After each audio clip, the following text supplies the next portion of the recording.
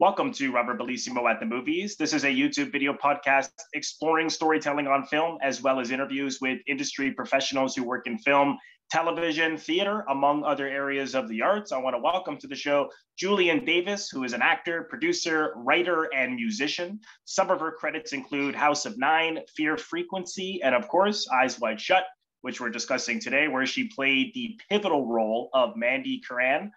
Julian, welcome. Thanks so much again for joining me. Hi, thank you, Robert, for, for having me. my pleasure. My pleasure. Um, I just before we talk about Eyes Wide Shut, I just wanted to go go back to your to your life story before that a little bit because I know you started out as a ballet dancer. I and, did. And became a, a full time model in the UK and in Europe. Um, and you, so you you you mentioned that you dabbled in acting a little bit before this film. Now, did you ever did you have formal training? Um, it, by formal, if you mean acting classes, yes. Yeah. Um, but I, you know, I didn't go to RADA, for instance. Right. Um, but uh, let's see, I have a very analytical brain, and um, and so even though I did take um, acting classes with a lot of working actors, sort of way early on, I think I was about twenty. Um, I would say that my acting has gotten better over the years just from being in the business, observation. And I would say the best training I actually ever had was um, with private coaches. Mm. So I did have a few private coaches, and I wish I could name the name of one of them in England, but for the life of me, I can't remember her name. But she was excellent. yeah. What what brought you to to go to to England? Did you have uh, some kind of offer to go there, or did you just go to see if you could make? You know, it's just there? it's just really weird how things happened. Um, I started off in Los Angeles. I am from Los Angeles. Right. And then, you know, when I started modeling, I started modeling around the same time I was acting did some modeling in LA and then I went off to Tokyo, came back to LA, then went to New York for a while, came back to LA, New York again, then moved to Europe. I was based out of Germany for the first year, and then I moved to England. And um, and then from there, England really, I mean, I love England. Um, I'm a British citizen, a dual British American citizen and I adore England. And it became my main base. And I just felt it was home. It was home more than, you know, I hate to say it. I mean, more than how I felt at home in America. I, I feel really at home in England and so it became my main base while i continued to travel around and i you know and i did the whole the typical working model thing. Paris milan right. um, you know germany again for a while athens um, oh wow. you know holland spain bangkok you know it just you know oh my god. all over. Yeah. Wow. That must have been those must have been some incredible experiences in all those major cities. You know, it was a fantastic career. And I'm not going to say I didn't have some hard times too. I did, but right. um, all in all, it was it was a great, great career. I um, I miss it. My last campaign was in 2012 as a model. And I do miss it and I and I love it. And I, you know, I love fashion people. Um, and so, you know, and I got to travel to so many amazing places Mm. So, you know, very grateful for that. And if it wasn't for that career, um, then I obviously wouldn't have met um, Leon Vitali, who was doing the audition right. for Eyes Wide Shut. And that sort of catapulted me back into acting. So I was pursuing acting a little bit in LA. And you know, I got a little role on a on a pilot, and you know, just a few little odds and sods, but nothing of note really. Um, and then uh, so when I auditioned for Eyes Wide Shut, I already knew what I was doing when it came to acting. But right. I mean, I'm not going to be I'm not going to be naive and think it it didn't have a little bit to do with how all of this looked as well. You know, so right, right. You know, I mean, I'm not stupid. It's like, you know, I mean, I got you know, I got lucky. I got lucky. I was the right person, I guess, for Stanley at the right place at the right time. I mean, that was that was truly, you know, that's like hitting the lottery. I was oh, I was a working model at the time. I wasn't a supermodel or anything like that. I was just, you know, a successfully jobbing model, fashion right. model. Yeah. Right. Well, now, because I, I know that you mentioned the initial audition was for Leon Vitali, and of course, yes. any, anyone who's a Kubrick fan knows who he is. He's like yes. Kubrick, Kubrick's right man, man. He was exactly. he was in Eyes Wide Shut, of course. Yes, well. he was. Yep. Um, so now you you had mentioned that you originally applied to be a, a background performer in it. Yeah. Um, and and so how how did it come about that well, it's funny. So my my agent rang me up and said, um, "So would you be interested in auditioning as a quote featured extra in a film?" Right. And I was ready to say, "No, no way, not interested," because I wasn't, and you know, I had plenty of work as a model, so why would I bother? Right. Um, and and then she said, "It's a Stanley Kubrick film," and I went, oh, because you know, like so many people, I'm a huge Kubrick fan. So um, then she told me, she said, well, you're going to be a featured extra, and you'll be wearing um, a mask, and you will be wearing a mask, a g-string, and high heels. Oh God.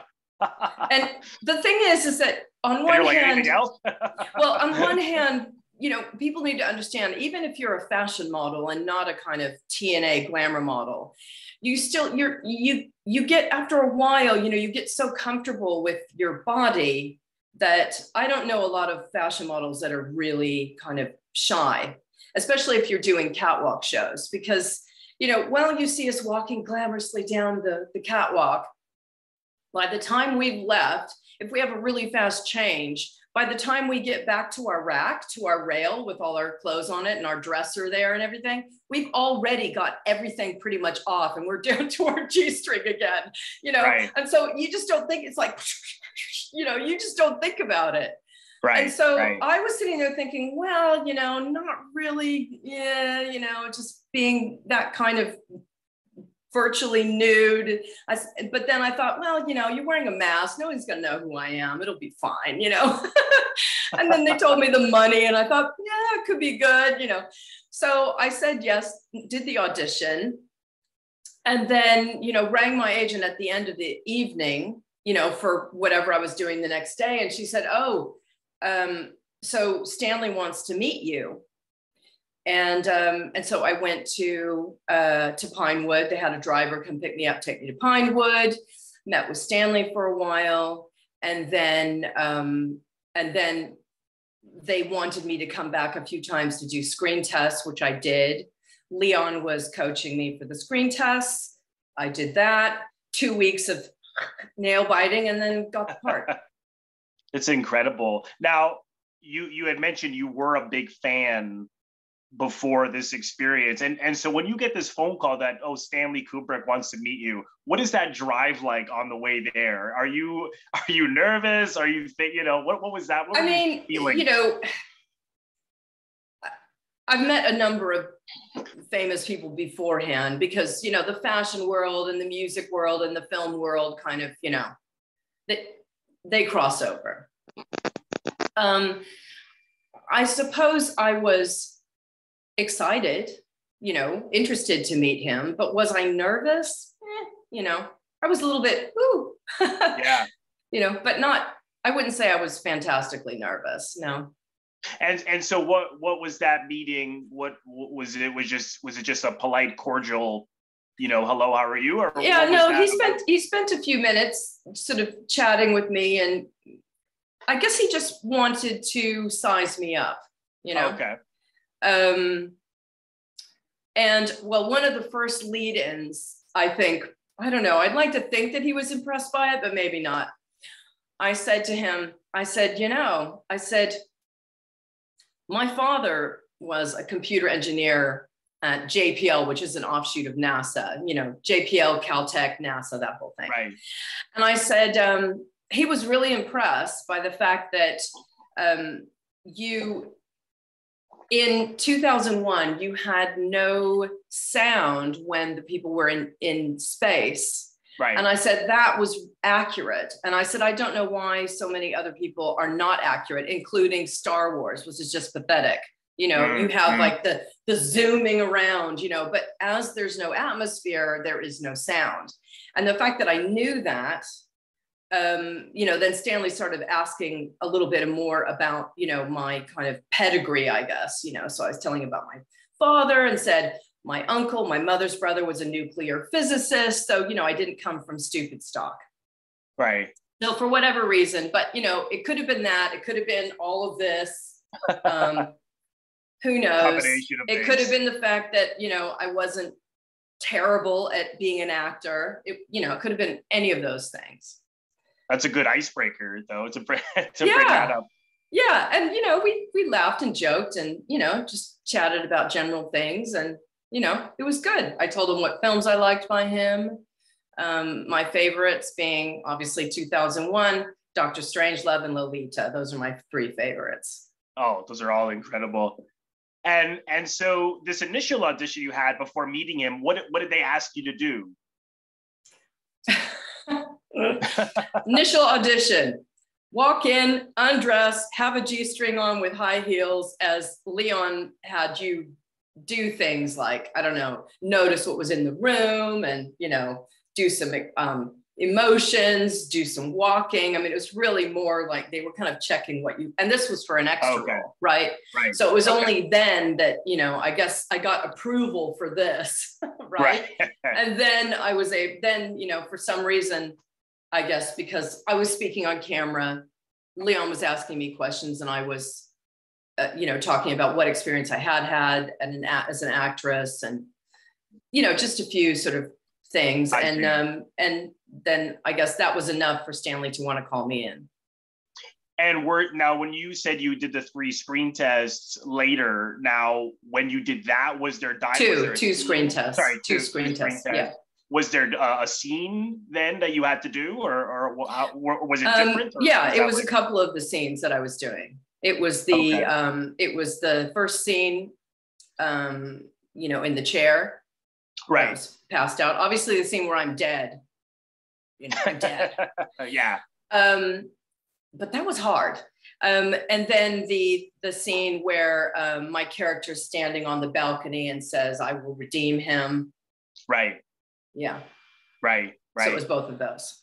Yeah. It's interesting because because I, I, I had thought that must have been hard when you were the when you were just when you were dead uh, later on because uh, now you know because because it was I, a really long cut and you didn't see yeah. me breathing that's exactly what I was thinking. I was like, how did you? I was thinking, how do you not keep your your stomach from going going up and down, right? Well, I was you, holding my breath, and if you, you saw, it, right? you know, oh if God. you looked closely at my body, which I'm sure people did, my my my um, ribs were kind of a little bit more out, so I did take quite a large breath. But the thing was, is that the whole thing, the whole scene moved so slowly. You know, Tom right. came in and he slowly walked around me like this. Yes, yes. And at one point, so they had the whole group and they were watching me really closely. Everybody was watching me to make sure that I didn't breathe, move, oh or blink because my eyes were open. I had to take right. my contact lenses out because my contact my contacts were drying up. Anyway, it was a whole thing. And um, and so they made sure that I wasn't breathing or moving. And, and obviously, you know, I was being disciplined. But at, there was a point where I knew I needed to breathe. And so Stanley said, okay, when you need to breathe, just say breathe. So I did. I said, breathe, took a breath, held my breath again.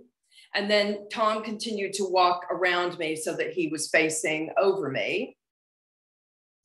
And, um, and then we had to work out this whole thing where he's try doing this, try and keep your eyes absolutely dead straight when you have something moving over you because you it's really difficult because you right. want to go oh yeah you want to you follow. follow. it right yeah so yeah th- that was that aspect of it was tough you know and then also it was this constant rotation of the steel bed that i was on mm. you know the the steel right. what do you call those things the the I'm steel sure. it's like yeah it's like a not a Whatever, bed, yeah, but you know, know it's like that in the, morgue, the pulley right. thing that comes out of yeah. the anyway.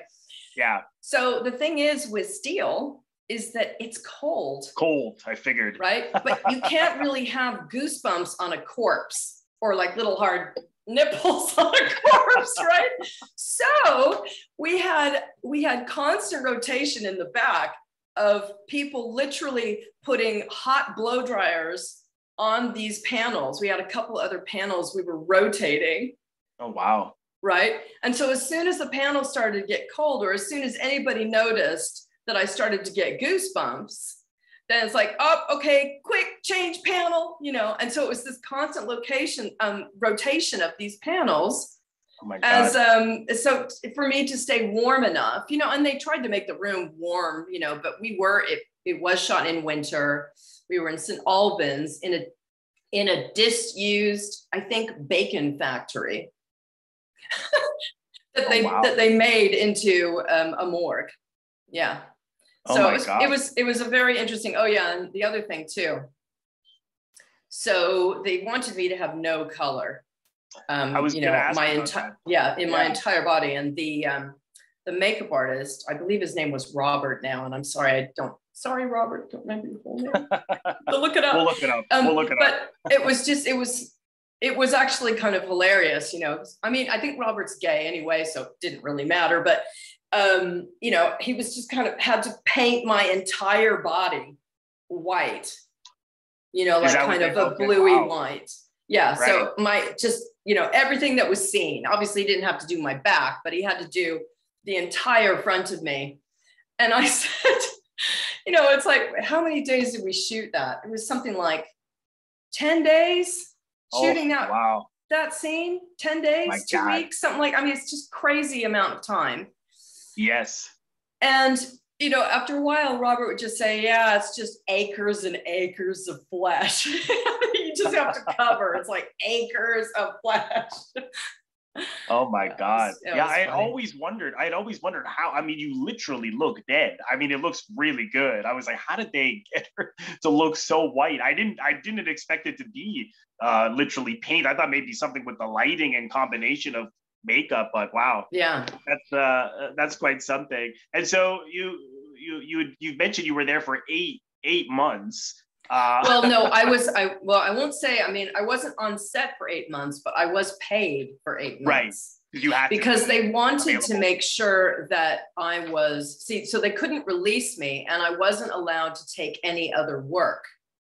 Right. Right. So right. I mean, even if it was like a day job, you know, like a catalog job or whatever else was, or a commercial or whatever, I, I, basically was on contract for eight months and not allowed to do anything else. So even if they weren't necessarily filming my scenes, if something changed with their schedule or whatever, where they needed to film something, I needed to be on call pretty much all day, every day for eight months. Right, right. In case they were gonna call you in. Now, right. when you when you were called in, and because I know you mentioned, you know, you you'd wait and wait and wait, and they wouldn't they wouldn't shoot this, you know, your scene.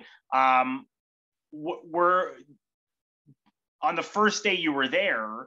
Um, how long was it until you got to finally do something? Was was it? Oh man, you know, I don't know if you remember. I'm trying but... to. I'm I'm trying to remember what it was like the very first day. Um, I mean that first scene the bathroom scene or the you know the first i guess i should say two scenes because the first scene was me kind of out of it and the second yeah. scene i've kind of come to and covered in the right. in the towel which is by the way the only scene i put on my reel um, for obvious reasons. Anyway um, i think altogether it was about i want to say three weeks shooting all of that. Um, okay. and I can't remember if I I know that there was a, a, a number of times that I was just um, you know I I'd get there in the morning at like 7 a.m. 6:37 something like that makeup and hair done and then I'd go into my my room at Pinewood and I would just sit and sit and sit and sit and you know read a book and whatever you know um and I do remember there was at least I don't know, two or three days, and I don't know which days, but there were at least two or three days where I was pretty much sitting all day. Right. You know, all day. Um, but I do remember when I um, when I first when right before we were ready to go and do that first scene. And the first scene, I was literally Starkers, and um, I remember walking in. So they before we went to film, um, the PA came and got me and took me into Stanley's office, and so I was there. You know, I went, sat down, and basically um, Sydney and Tom were also in the office. And you know so hello nice to meet you. Hello hello. Hi stanley you know. And you know we're just chatting away about fairly inane stuff. And there was a pause in the conversation. I said so stanley is the reason why you called me in here so that i can meet these guys before i'm totally naked in front of them and he went yeah pretty much and i said okay well i'm good let's just go let's just do it yeah it's like uh, you know yeah well, that's nice. They tried to make it somewhat com- comfortable. I know, but it was hilarious because it was just so obvious. Right, like, right. You know, and I think Stanley appreciated the fact that I was just really upfront about it. You know. Were you were you able to when you know this this time when you were waiting? Um, were you able to observe other scenes being shot, or did no. you not allow that? Okay. No, no, I, I wasn't. No. I yeah. figured. Yeah. It's like, no, if you're not in the scene, you're going to be somewhere else. Yeah. You're not allowed right. to be looking on set.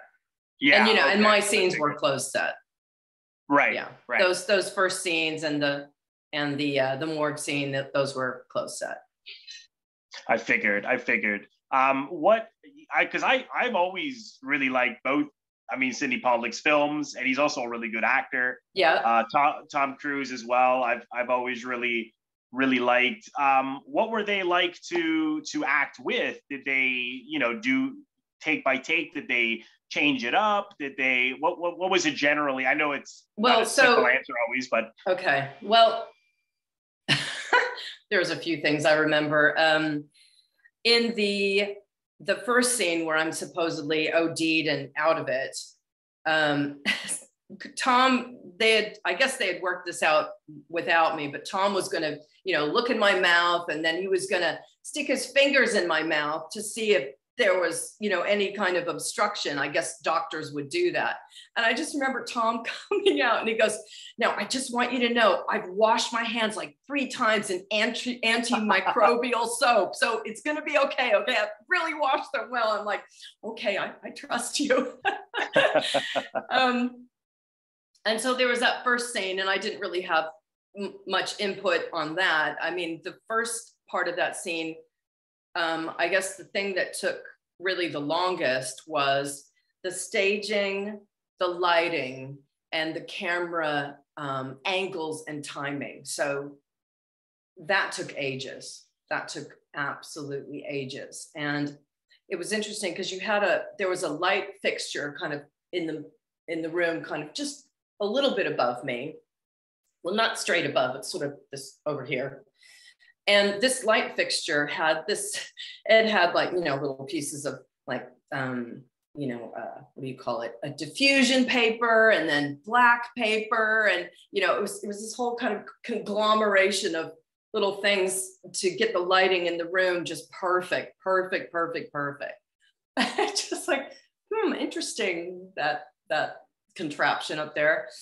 And then, you know, just other little things about Stanley would constantly be looking and wanting to just move little things to the right or to the left and just, you know, kind of just staging it so that the visual was exactly mm. specific to what he envisioned or wanted. I mean, even just my, I remember my lip color, even my lip color. Um, we had five tries before Stanley was happy with the exact shade that we oh, went wow. with. I mean, he's very specific about what he wants, like oh, extremely. Oh, definitely. Yeah. And, and now, was it now in turn? You know, you hear all these stories of of him doing tons and tons of takes. Was that true? Yes. From your experience in yeah, that scene he as did, well? Yeah. He did tons and tons of takes. He did tons and tons of rehearsals and tons and tons of takes. But what was interesting, but but if you understand why, I mean, you know, if he if he was so specific about um, what he wanted and the angle that he wanted it, like that first scene kind of starts further back, right? If yeah. you can imagine, you know, this sort of, I mean, it was the camera was it wasn't a handheld this time. It was just it was on the dolly, you know, the the big camera on the dolly. And so you can imagine them just slowly wheeling forward, and then the camera would dip down like this, and then it would come forward like this, right? Yeah.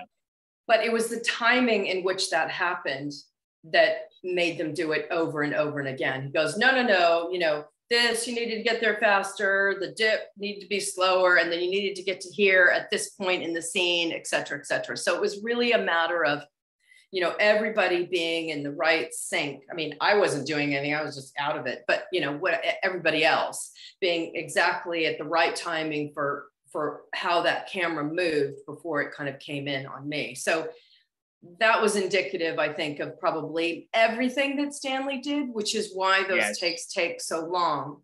But yeah. you know, on one hand, you might think, oh, this is a real pain in the ass. But at the same time, you think, well, you know, if you were a director and you wrote it and you were producing it and it was your baby, I mean, why wouldn't you want to be? And you had the money and the time to do it. Yes. Why wouldn't you want to be that specific? I would. Right. I totally would. I mean, I, I, you know, I'm way detail oriented. So if little things are out of place, it would really piss me off. So I think Stanley was very similar in that respect. And, um, and so, you know, that's why those things happened again and again. Right. The other thing that was interesting though, is, and I have talked about this before, but I'll say it again. The second scene where I'm actually speaking, the original, um, the original uh, script was something like, um, oh, you know, how are you doing, Mandy? And I just said better. That's right. it. And so I remember, you know, we we had worked out the scene, and you know, Tom and Sydney had their exchange, and then Tom said that to me, and I said better. And we were rehearsing, and I said, you know, I said, I feel like I want to say this and Sydney would say, I'm Tom, I'm sorry, Stanley would say, okay, all right, do that. And then, and then so I said my bit, and then Tom said, well, you know, she's saying this. I'm going to say this. I feel like I want to say this. And then Sydney would say, well, you know, if they're going to do this. So basically, um, the three of us and Stanley kind of rewrote that scene while we were re- rehearsing it. And so it became oh, wow. something different than what it was on the page. Wow. Yeah. yeah. So you know, like I, I'm not surprised to hear that uh, in in a sense because if you when you go look at that documentary his daughter made uh, on the set of The Shining, and Jack Nicholson was joking that they were constantly rewriting the scenes. You know, constantly. Okay, so, so it makes sense. Yeah. Yeah, yeah. So I'm not surprised that. I mean, uh, I I just think that it was important for Stanley is that if let's see, how can I say this? when I suggested those things, it wasn't out of my ego. It was just out of what I what my gut instinct was telling me to say right. or do. Yeah. And you know, I I didn't really think, I mean, you know, I think some people maybe if they were amongst those people, I mean, I'm I'm amongst like film giants and who, who am I? You know, I'm just this little jobbing fashion model that was plucked out of nowhere. So, you know, and other people, I guess, might have been really nervous, really nervous to say things or do anything other than, you know, what they're told or whatever. But I kind of looked at it like this um, that, you know, I was hired to do a job and doing that, I wanted to do that job to the best of my ability and whatever it took, you know. So if I felt like, uh, my character needed to say or do something more, then that's why I would say it. I, I didn't feel afraid because I thought, you know what, we're all here. We're all here to do this job, and we're all here to do this job, hopefully to the best of our ability and to make Stanley happy, right? Yes. Satisfied yeah. with the job that he's hired us to do. And so I didn't look at Tom or Sydney or Stanley in the way of like, oh, you yeah, know, I just, right. I didn't, I didn't feel that way because I just thought, well, you know, I just wanted to, to make to make it the best it could be. Basically. Well, well, good, uh, good for you to really just take ownership of the part and contribute, and not, like you said, just wait for instructions yeah. because these people are giants, right? Because yeah. I, yeah, I know what you mean. I think you know a lot of people would be uh, uh would be intimidated. Yeah, yeah, intimidated. But I mean, it sounds like they created an atmosphere also to yeah make you feel comfortable to yeah. to do that. So yeah, um, which is great as well. Now, what what what was he like specifically in terms of directions? Did he ask for specific changes with each take, or what, how did Not he really.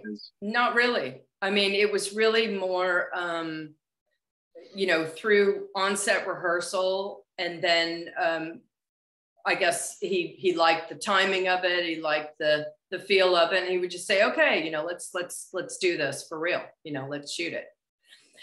What was funny? Uh, what was funny is that um, at one point, you know, we had done a bunch of takes and then we had all sat down and looked at the playback.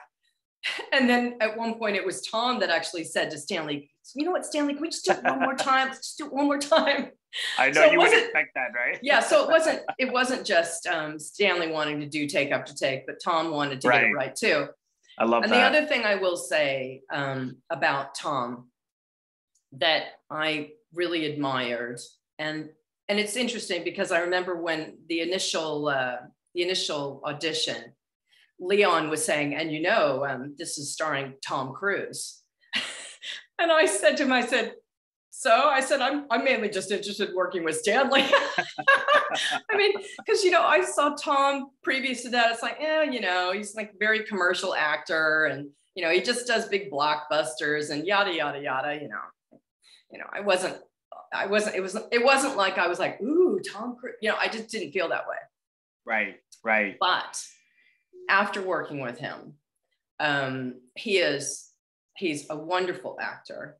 Yeah, his ego, his ego. I mean, I know you hear stories and things, but I didn't notice that he had this massive ego. I will say that his persona was bigger than life, right? But I didn't right. notice that his um his ego was you know it's like well she can't say that and you know i'm tom cruise you know i just didn't i just didn't gather that from him and so i would say he's really focused he's an excellent actor and even when the camera was not on him he didn't have a stand-in when the when the close-up was on me he was there giving it his all so that my performance would be good and believable and he could have had a stand in, right? right? He could have done, you know, if he was going to be a prima donna, he could have done that.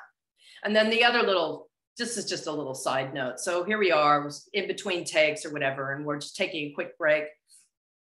And we're hanging out just outside set, and there's a little craft table kind of around the corner that I didn't know where it was. And Tom comes up and we're chatting away, and he's eating a granola bar. And I went, Oh, where did you get that? And he goes, Well, it's at the craft table just around the and then I go, oh, really? And he goes, do you want me to get one for you? And I'm like, oh, could you? and he did. So that was nice. You know, I mean, he's not, that's what I mean about Tom. He's, I would, I would jump at the chance to work with him again. I'll say that. And we had fun, great, um, even intense conversations about various things. And, um, you know, I mean, uh, you, I didn't feel like you could get too personal so if I was right. asking something that was a little bit too personal about he and Nicole, he right. would kind of pull back a little bit. So I kind of I thought, okay. And I understand that because who am I? I'm this unknown actor. He doesn't know what I'm going to say or do. Um, and so, you know, and you you have to um, you have to respect that because you don't know um, you have to protect your your privacy to a certain extent, right? So right, of course yeah. Well, that that's so good. That's so good to hear. And I, I know because I I know what you mean because I I used to feel that way about him as well. But then when I saw him on his Inside the Actors Studio episode, he spoke so passionately about acting, mm-hmm. and he mm-hmm. just I was like, man, this guy really loves to act. He does. and then he when does. I went through his performances more, I mean, this was when I was, you know, in, in my teens, and I always just wrote him off. And then I was like, wow, he's actually he is actually an excellent actor, and I thought he was great he, in Eyes Wide He is. Well. I mean, total commitment. You know, yeah. and what I used to think about him being, um, you know, this commercial quote sellout actor, not selling out at all. I mean, he is the kind of guy that would go to an action movie and be sitting there with, you know, a giant popcorn and a soft drink and go, you know, I mean, he yeah. really is that kind of a guy. So um, the fact that he would do those sorts of films, I mean, that wasn't him just, you know, selling out for money kind of thing. I just think right. he was really into that stuff. Yeah. And he loves, you know, he loves racing and flying and stunts and all he loves that stuff. I mean, he totally digs it. So yeah, he's he going does. after his passion. Yes. Yeah. No, absolutely. And did you get to know Pollack much much at all uh, at all? Sydney Pollack. yeah, Pollack, I mean, yeah. you know, chatted to him as well and he was lovely and you know, told me a few little tidbits about Tootsie um, like comedy, little comedy tidbits. Like he was saying, he was saying, do you remember the scene about, you know, where they were going in for a close up on what was her name? Dorothy? Was it Dorothy? I think. Who Dustin Hoffman? Yeah, well, yeah. The woman as Dorothy, was, you know, with woman, the full, with, yeah. yes, yeah. And uh, and so they pulled in for a close up, and you know, it's like nightmarish. And and they said, and then the producer said, pull back, pull pull back, and and the other guy said, well, how far? And he said, how about Cleveland? Oh, right, right. So when he when he was telling me that, he said it had to be a hard word like K, Cleveland, right? It couldn't be, you know, how about I don't know Memphis? It, he said it wouldn't have had the same impact. It had to have that hard sound in order for you to find the funny in it. And I just thought that was a nice little interesting tidbit, you know, that he told me about that. Oh, that's interesting. Yeah, I, I could see I can't articulate why that would be, but I see what he means. I think something about the uh, the hardness of a of a city like Cleveland, and it just has an extra punch to it. I don't know why, yeah. but yeah. Anyway, that's interesting. Yeah. Wow. And but they now, were both lovely. They were respectful. We worked well together. You know, the scene went well. Scenes uh, went well, and um, right. yeah, it was all good. Now the the scenes you know, because there's these different things you hear about in the you know party slash orgy scene of uh, this act. Uh, now was she an actor, Abigail Good, who yeah. did like what? Now because no. everyone says it was her, but I always thought so, that was you. Okay, so it's my character. It's your character, um, right? Yep. And um, so, I mean, this is always just I I I actually hate talking about this, but it's easier to talk about it and just tell the truth of what happened than you know make up something and um, i think when when the film first came out you know nobody advised me on what to say and what what not to say so i didn't really know what to do um, you know i had one really awful interview somebody called me on my private line at like six in the morning and i was kind of fumbling for what to say and uh, anyway um, so, I, I mean, I, you know, I, I, won't take too much of your viewers' time, but basically, no. what happened is we had been rehearsing. Um, we had all been in this circle um, rehearsing that initial kind of ritual scene for a month before um, just before they started filming. And oh, by the way, if anybody's interested, why um, my character ended up with this feather mask. I chose it. Ah, there you I go. There's a bit of trivia. I don't think anyone yep. knows. well, basically, um, you know, before we put before the, I guess there were something like 10 girls or 12 girls. Is it 12? I can't remember, but you know, in the circle. Something like that. Yeah. Um, so at one point we we braked and Stanley had me come up and he had all the masks displayed um, on this table or these tables because there was a lot of masks. And I think he had chosen a number of them for, to be on the featured girls that were in the circle. And um, and so he said, "So Julienne, which one which one do you like? Which one would you want?" And so I chose the feather mask. I thought it was the most beautiful and the most striking. Good choice. Um, yeah, it was a good choice. and and then that feather mask, um, it's the some of the aspects of the mask, and you'll laugh at this at this again.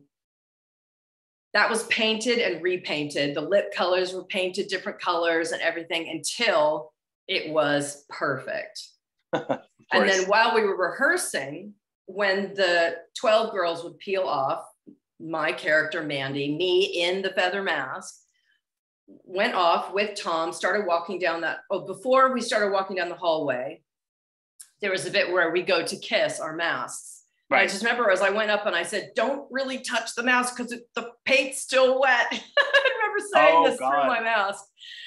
Um, yeah, so all of that happened, and you know, I was wearing that mask, and everything was great. But here's what happened. Um, so all this time that we were kneeling up and down, I invite your viewers, especially your female viewers, to wear four and a half to five and a half inch heels and to kneel down and get back up on one knee with high heels. Oh, God. Many, many, many times.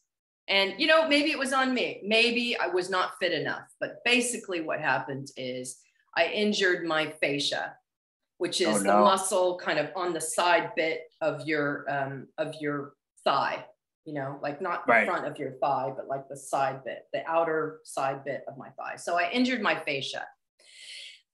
And I was struggling um, to get up.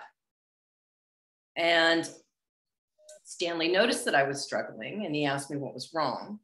And I said, you know, I think I pulled a muscle. I said, but don't worry, I'll be fine. And we were going to break for two days. And by the time I came back, I, I said, look, I'm fine. You know, I was taking codeine and what was it? Like I was taking codeine and um, I think Tylenol and codeine, something like that. Co-proxamol, right. that's the word that they used in England. I was taking co-proxamol. I remember running to my GP in England going, okay, I need to not feel anything. Please give me something. You know that I don't like to take drugs, but please give me this so that I don't mess up right? So i had come back and i was i was fine. I was able to do it and i didn't have any pain and you know but stanley was still nervous about it. Mm. and so um, two things happened around this time.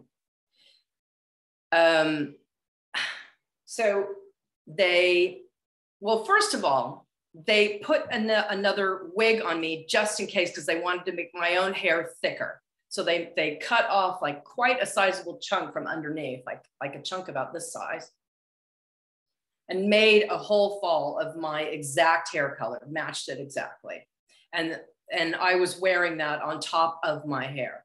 Okay. Right. Just to thicken it out. and then one night at the end of another rehearsal, um, all the girls, um, plus the one guy, you know, that was in the the guy with the with the um, incense thing. So we yeah. were all on the bus, ready to go back to the hotel because we were the the stately home was in Norfolk, right? So we went to go back to our hotel, and it was about we were doing very late starts and late nights. So we were at our our hours like two two p.m. to two a.m. So it was about two thirty at this point, and we were all in the bus. And then Leon comes onto the bus and he says, Hey, um, Julienne, Stanley needs you to come on, come into his um, trailer and try on G strings, different G strings for him. Because, you know, we were still wearing those G strings when we were all walking, right? Yeah. And right. he, he needs you to come and try on various G strings for him. And so my my first reaction was, really? I mean, you know, it's 2:30 in the morning and why would I need to try on G strings this late at night all alone? He goes, Don't worry, you know, we'll have the driver take you back to the hotel after. I don't know. My gut just didn't like the sound of it. And I was tired. And so I said no. Oh. I said, you know what, Leon, I said, I'm sorry. I'm not, you know, I mean, I'd do it tomorrow, maybe, but I just, I don't want to do it now. So we went out, chatted, and he goes, no, Stanley really needs you tonight, now. And I said, I'm sorry, I'm, I'm not, I'm not doing it. Abigail, I'll do it. Oh no. Oh so, wow. Wow. So that's what okay. Okay. Yeah, I wasn't expecting that. That's what happens. God's honest truth. That's what happened. So. Oh God. So so sometimes it was. you. So basically, the wig that they had fashioned for me, just to thicken out my own hair, they then stuck on her. She's well, not. I don't know what color her natural hair is, but she's blonde usually. Right. And um, and yeah, so they took her mask and put me in her mask and her in my mask. And what's really interesting as well is that in the scenes where we're all peeled off and we're walking down that hallway, if you look right. directly behind my character, Mandy, I right. am directly behind me. Oh, wow. Wow. yeah. Oh, God. So my God. character is the one in the mask that was like this. Yes, right. That's my, that was, you know, not my character, this other extra, because Abby was a featured extra. Right. So she right. basically was my stand in because I injured myself. Right. And then, right. you know, they used her for the rest of those scenes. I so so it's a combination the, of you and her. Right. So the so okay. the other the other thing that was, but you know, I was in the initial ritual scene. I was in right and the walking down the hallway and all of that. But then when they cut to the orgy scenes, that's a whole other thing that happened. Oh, I have God. to say, Stanley's Stanley's damn good. He knows what he's doing. Stanley's a very smart man. I respect him hugely. Um, and being a producer myself now and being a co-producer on projects and associate producer on projects, I've be, because of that knowledge now, I totally understand that he's going to do or any you know any director producer that you know really wants his baby to be the best of his vision or her vision you're going to do whatever is necessary regardless of loyalty. And i agree with that. Because eh, you know there's a point where are you going to be loyal to somebody if it lets the production down in some way or another, you know, or if you can't rely on them? So I can't blame Stanley for wanting to get somebody else. And clearly, Abby was very willing. Right. Um, so, you know, I, I, I, I understand that. I understand mm. his reasoning because he didn't know if my leg was going to get worse. And then all of a sudden, uh oh, you know, she can't walk now. Right. So I totally understand. Right. It was very upsetting for me at the time. Extremely oh, I, upsetting. I imagine. Yeah. Lots of imagine. tears and crying. I was very upset. I oh, was very upset. It was not, it was you. not, it was not good. It was not fun. Right. No, I don't blame you. Yeah. I don't blame you at all. When, yeah. when sorry, when you said in the the orgy scene, you oh, said yeah, there's so, some other oh, story yeah, whole there. Other thing. Okay. So yeah, okay. So this is what happened. Stanley, um, just you know, he had the um, the uh, the choreographer. Um, she, let's see, how can I say this quickly? Um, they would have these kind of training sessions, stroke dance um, classes, stroke rehearsals. Okay. And they had these things for months. Like they would meet every week for months leading up to the, the ritual scene and the orgy scene. So all the guys that were in the in those scenes and all the girls that were in those scenes would be going to these you know class rehearsal things for weeks and weeks and weeks and weeks and weeks okay? Um, so leon came up to me and he said um, so this is what we're doing. And he said you know it's just to kind of um, discover movements and whatever. And you know, um, just so you guys can kind of get to know each other and stuff like that. Um, and so, you know, would you go to one of these, um, you know, would you go to these classes? And I said, okay, sure, you know, sure, let's do it. Um, but so, oh, and I'll, I'll say one other thing. So Stanley said, you know, I'm going to have you guys work with the, you know, oh, Stanley pulled me away privately and he said, um, so I want you to go to these kind of class rehearsal whatevers. And he said, basically, it's just kind of, he goes, it's going to be sort of like erotic dancing with the inference of sex, but no. And he said, and this is what he did. And I've done this before for other people too. I mean, I'm talking to him just like this. And he goes, he said, so it's going to be erotic dancing with the inference of sex, but there's going to be none of this. right. That's what he did. I mean, he did, he did that. Right. And I went, okay. Mind you, one other little tidbit. A few years before this, I had been sexually assaulted on the street in London. And so oh, I was feeling a little bit more um, vulnerable than I used to feel uh, after that incident. So I was still, I mean, it took me kind of years to get over that, you know? Right. So I was still, de- I wasn't raped, but it was, it was close. It was, it oh was God. Bad. I'm sorry to anyway, hear that. Yeah, it was bad. Um, anyway, so, you know, I went to these, these class things, you know, we had a, it was like a dance class, you know, we had like a warm up and, you know, and then we all paired off into groups. So we'd have some girls with guys and, you know, maybe, and then I, and the other thing I said is I said, you know, I mean, Leon was saying, okay, you know, how can we make this good or whatever? Because I told him about the fact that I had been assaulted a few years before and I was still kind right. of, um, and I said, you know, I'm, I'm good with that as long as it's just me and a couple other girls. I said, I just don't feel comfortable kind of like moving around that close when we're, again, topless in a G string. Okay. And the guys were in their boxer shorts mm. moving around like you know kind of erotically with a guy. I just i just like uh, you know uh, just because i felt vulnerable. Um, right of course. so i agreed to do these things with two women and and i thought i would be okay. But what was weird is that you know we all would perform in front of each other.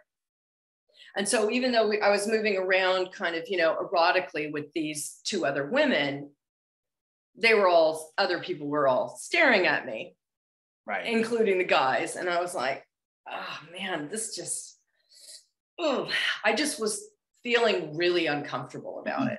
And so mm-hmm. so i i you know i so leon at the end of it he goes so how how did it go? And i said you know what leon? I said i'm really sorry. I hate to do this. And then and i and i told him and i said look because i feel really uncomfortable because of what happened to me and i I'm still dealing with that. And I just felt really uncomfortable moving around like that with having like the guys watching me and stuff. And I just said, I just, it's not a matter, and I did say this literally. I said, it's not a matter of I won't. I said, it's a matter of I can't. It just felt so, uh, right. It just felt really wrong to me. I just, I just felt so uncomfortable. Um, and he said, okay. And then Stanley talked to me again um, you know, pulled me aside and he said, look, he goes, I really, really, really want you to do this. He said, because you have the best body and I want, so that was nice of him. Nice little compliment there. You have the best right. body and I just really need you to be in these scenes. And I'm like, ah, Stanley, please don't ask me to do that. I just feel so uncomfortable. I just feel so uncomfortable moving like that. So fast forward to after the ritual scene, after months and months of all these people getting to know each other really, really well, right? I mean, they're moving around with each other. They're going out for, you know, coffee afterwards, right? So they're all right. super chummy, right? Right. So let me ask you, if you were a director producer and your intention all along was to have this but you were hiring not porn people, not glamour TNA models, but fashion models. How are you going to do it? Kind of genius, really. Yeah. Right? Because oh, you get people so comfortable, they think, you know, you just kind of move those little goalposts. Right, right. Right? Remove the barriers a little bit more. and then it's like, oh. So when so right when the, you know, when we were nearly finished doing the ritual scenes, Jan Harlan, who by the way, I still, you know, we kind of, anyway, Jan Harlan came up to everybody in the circle and he said, um, listen, there's going to be a few changes um, with the, the scenes that are coming after, which they called the orgy scenes. Okay. Right he said, so, you know, initially it was going to be topless G string, high heels, and the men were going to be wearing boxer shorts, right? But he said, now it's going to be no boxer shorts, no nothing on the man except for a cup, you know, taped on to cover his bits, and um, the women were going to be completely naked. And there would be this. Right. And I mean, they must have been so pissed off at me. But I then, you know, Jan walked away and I said to all the girls, I said, listen, girls, I said, this is a big change. Mm. I said, you know, first of all, I said, up to you if you want to do it, if you feel comfortable doing it, fine, go for it, whatever. I said, but in my opinion, you should be getting more money for that. Right. Oh, certainly. Right.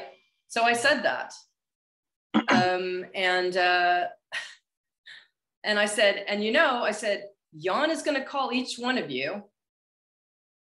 Um, and so, you know, it's up to you what you want to do, but all of them caved. They did it and they did it for the same mm. money. Odd. Well, it, it makes me wonder why why didn't they just get like porn stars or so like people who were be comfortable doing it right off um. Well, I would say because there was a number of reasons. One, he wanted women that were long and lean and looked elegant. Um, he oh, wanted women who weren't overly buxom. Um, and he also wanted women with real breasts. Ah, I see. I see. So, so your best you know, he, so he just, you know, he wanted them long, lean. If you can imagine, I mean, um, the highest end, highest paid escorts, they tend to be quite beautiful, right? Right. Right. And they tend to do they they tend to look like fashion models. The highest right. you're talking I'm talking like the saying. you know the ten thousand dollar a night kind of escorts tend to look stunningly gorgeous and they're elegant and they're well put together, et cetera, et cetera, right? And so because right. of the whole thing behind, um, you know, the sort of secret society of the uber wealthy, et cetera, et cetera, he's going to want the women to look like fashion models mm, and not mm, like glamour TNA models, you know? Oh, I mean, I will say there was, there was one girl who was, I think, a glamour model, but she was stunning and in fact, he used her. He used her in a scene. Um, you know the doctor's scene when he where the yes, girl's topless and he's got the stethoscope. Yeah, Atika. at the beginning. Yeah. yeah. Yeah, she did do a lot of glamour, but she was stunning. God, what a beautiful girl. Um, but yeah, for the most part, no. All the everybody else was fashion model. Yeah. Oh wow! I did not expect any of this. oh really? no, no. Yeah. I, I no. Well, I, you know I mean, what? It's like if yeah. you're not I just look at it this way.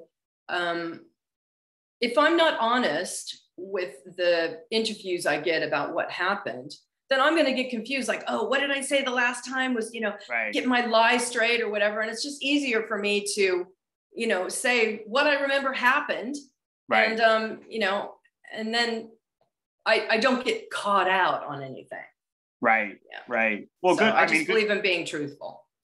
No, good for you, and and good for you to not feel the peer pressure to just cave and and I can understand why someone would, but it's much harder yeah, to be like, I mean, I'm not look, do it. And yeah. I will and I will say, you know, I I ran into um I think it was Kate Sharman. I think it was Kate that was saying this. Um after they shot the the orgy scenes, right? And I said, I said, you know, I said, how did that go? How was it? And she said, well, she's, you know, there were a few times that it was pretty grim.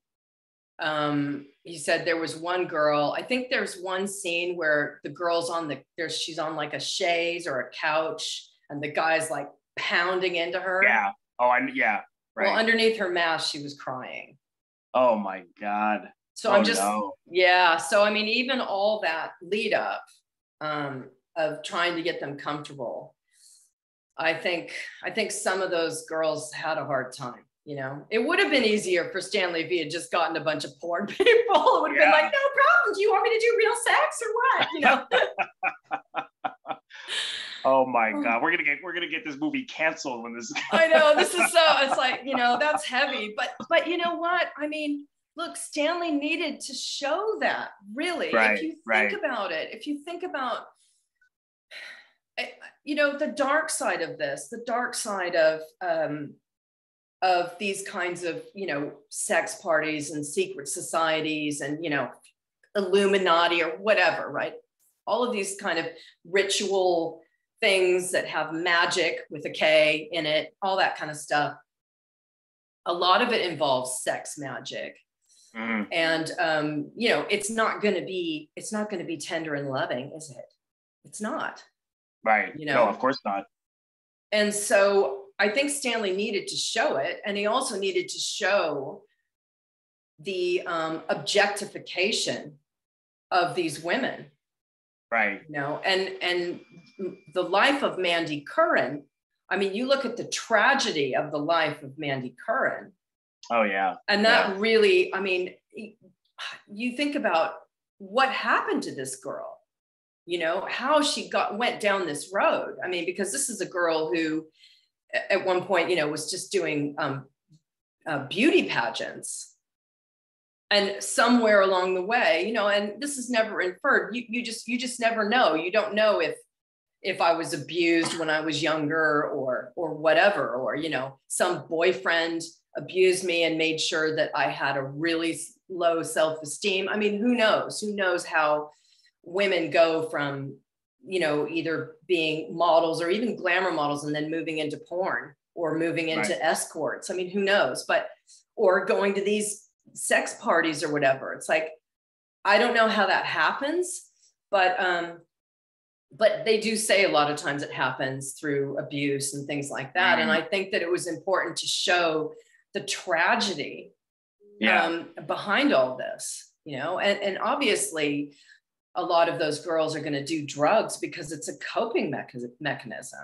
You need right, to numb, course. you need to numb the pain and numb the fact that you know what the hell am i doing what am i doing with my life what have i done with my life what am i doing mm. to myself you know right right well you know in a, in a way you know because before i knew the fact that it was uh you and then and this this other abigail good um because I I had always suspected that was some. I was like, is that someone else? And in a way, it kind of works with the whole surrealist nature of it, because like the whole film has this dreamlike sequence. So it's kind yeah. of like, is this all in Tom? You know, some people oh, interpret. Well, and she was thing. wearing my perfectly matched hair, so right. that's a dead yeah. giveaway. That you know, I mean, they can call it the mysterious woman, but I mean, it was me with my hair. You know, right? So that's true. And that's true. Stanley that character was supposed to be one and the same character. So, right. you know, right. And Do- Abigail couldn't. So, here's the thing, and then you're going to ask this, so I'm just going to jump to it. Was that you voicing it? In right. a word, no. And the right. reason is I think Stanley was pissed off. I mean, I turned him down twice, and people don't turn Stanley down for anything. I was wondering. I yeah. turned him down for the orgy scenes, and I turned him down for the late night G string trying on session alone in his trailer. God. You know, yeah. and it's like he was pissed off, I'm sure. It's like, you know, right. I've asked you to do something. You should say yes anytime, you know? Right. And I just, you know, and bless him. I'm not, I'll never know. I'll never know. I'm not, I wasn't a fly on the wall. I don't know. Um, bless him for being such a very smart man. There's things I know about him now that I wish we had, and things that I know now that I wish uh, there's a whole bunch of conversations I would love to have with that man. I'm really, really grateful for him giving the opportunity. In fact, I heard much later on that Warner's was not happy about the fact that he had plucked somebody from obscurity. They wanted a bigger, well known model. Right. Oh, wow. Yeah. I mean, I wow. think at one point Eva Herzigova was tagged to do it, but she didn't want to do it because of all the nudity. Right. Right. Right. Um, so, you know, I'm eternally grateful for for Stanley um, picking me out of obscurity. I mean, it definitely changed my life big time. Oh, changed my life. Yeah. Certainly. And yeah. and for any so anyway, so getting sorry, sorry. I, you know, I totally segued. so getting back to the whole voice thing. Right. They were pissed off. And if you look at where my name is in the credits, it's way the hell down there when the rolling credits are on. They were pissed off. They were doing the minimal amount at that point. And, you know, I'm sorry. I'm sorry they were pissed off, but um, I just, I had my level, you know, and I wasn't going to be, I wasn't going to be cajoled or convinced to go beyond the level that I was comfortable with. Right. And that's that. That's it. And I, I don't regret that. I, I still do not regret those decisions that I made. I mean, right. I wish he had used me anyway. Um, I, I think I would have been better all, you know, I would have been able to do the voice and everything, but it is what it is. But the voice right. is not Abigail either. Abigail could not do um, an American, she couldn't American, do an American right. accent. Yeah. Right. So they got Kate, Cate Blanchett. Yeah. Is, is, uh, and it's so funny because I, I remember I saw Cate at a, a party, I think it was early on, like around September, um, for some jewelry company. I can't remember which one. Um, but there's a picture of us somewhere on the internet of Cate and me next to each other at a party. And I didn't even realize that she had voiced it. And I, I you know, I mean, it, was, you know, she knew, but I didn't know. I'm like, hmm, why didn't she say something? oh, that's interesting. yeah, but it was oh, all wow. very, I mean, I think it wasn't really common knowledge for quite a long time. yeah, this was only just come out and I'm not sure when. Yeah. But so I think maybe she, you know, maybe she wasn't told to do that. But I think I, I honestly think they were just pissed off at me. Mm, you know? Because mm. Stanley knew what I could do. I mean, I'd rehearsed right. the bloody thing enough times. Right. You know, but I just think yeah. they were pissed off. Right. What can I say? Right. Yeah. Right. Oh God. Well, again, you know, good for you for sticking to your guns and doing what you agreed to and not yeah I mean, and, and at the end of the day, I don't know. I don't feel like it's diminished. You know, it's still my character. Right. Yeah. No, um, not at all. Yeah. No, it's so, not at all. Yeah. Not at all. And, and, and my life still changed. yeah. you know, I mean, it probably would have been the same. If, you know, had I done those scenes, I think the changes in my life would have happened regardless if I had done those yeah. initial scenes or not. Yeah, yeah. I think, I think so. Yeah, yeah, I think so. And uh, you, I you told this amusing story about the the when you first saw it at the premiere. So oh. so when you're so uh, do, you mind, do you mind sharing that again? Just yeah. to mention everyone gasped when they first saw it. they did. So I mean, we're talking like star-studded premiere, and I think my husband and I were sitting in like the fourth or the fifth row. And I do, I remember this the entire audience, as soon as it cut to me, like slumped in the chair. Literally, the entire audience went like that. I'm like, oh shit. yeah, it was it was kind of I was like, oh wow. You know, I mean it oh, was oh, freaky. God. Well, it was freaky I seeing bet. myself, you know, on that. I'm like, whoa, that was, you know. oh God, that's quite the story. I know. Yeah, and I had no idea what to expect too, because I had I hadn't seen the film before it came out. I mean, that was my first time oh. seeing it at the premiere. You know, right. the one in Westwood. Yeah, first time. Right. That's incredible. So it's like not only is it a major movie by a major director with major stars, uh, seeing yourself on the on the big screen, but also having that reaction. That's quite, I know, I know. It's kind of freaky that the world has seen me naked but at the same time, but at the same time, it's they, at least they saw me naked at a really great time of my life when I looked really good. so you know, and I didn't do anything, as I would say, untoward with my nakedness. Right. No. I mean, I've never really done a sex scene, or you know, I haven't done that sort of thing. Yeah. Right. Well, I mean, and also in a really good movie. You know? Yeah, it's such a good movie as well. Yeah, what, what I know. You, I mean, that's why I say. I mean, I feel blessed. I'm I'm blessed that that Stanley chose me, and also, you know, with the years leading up after that, I um, experienced um, a level of fame and a part of kind of the world that he was sort of trying to explain. Not that I was going to sex parties or anything, but with the circles that I was running in and the parties that I was going to and the things I was invited to, I was definitely running with and exposed to a lot of the kinds of elites that he was mm-hmm. kind of inferring in the film. Um, and so I really got a good taste of that. I got a good taste of the lifestyle that they lead. And I got a good taste of fame too. Right. So, and that all of that was a very interesting learning mm-hmm. curve. Yeah. Oh, I bet. Well, this has been such a great conversation, Julienne. Thank you so much for coming and sharing in such great detail. these, You're welcome. Yeah. stories I, I really appreciate it. And I know that Kubrick fans will eat this up. you know, this is such great. I, I know you've talked about it before. I, I read other interviews with you, but uh, this there there's so much here that I didn't know. So this was this was so great. So thank you so much for doing this. You're welcome. You're welcome. It's been fun. It's always fun. Thank you so much, everyone, for watching. I want to thank all of my members on Patreon. If you're interested in becoming a member of my Patreon, head over to the link patreon.com slash Robert Bellissimo at the movies for full details. And if this is your first time here on my YouTube channel, please consider subscribing by pressing the Robert Bellissimo at the movies logo. You will see it floating above my head in the top left corner to your top left in just a second. Just click on that and then click the bell in order to get a notification every time I release one of my new episodes. Please click the like button below. We'll see you in the next episode.